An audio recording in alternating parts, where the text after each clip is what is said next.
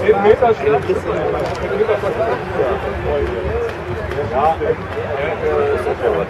schon das erste Mal gerecht wurden. Würde ich auf jeden Fall nicht in die Mitte schießen. Ja.